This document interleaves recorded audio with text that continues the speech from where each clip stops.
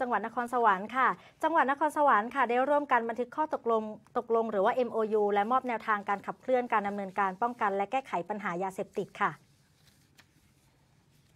ที่ห้องประชุมสารกลางจังหวัดนครสวรรค์ นายชยันศิริมาศผู้ว่าราชการจังหวัดนครสวรรค์ เป็นประธานการประชุมคณะกรรมการ ศูนย์อำนวยการป้องกันและปราบปรามยาเสพติดจังหวัดนครสวรรค์ และส่วนราชการที่เกี่ยวข้อง ได้ร่วมกันบันทึกข้อตกลงความร่วมมือหรือว่า MOU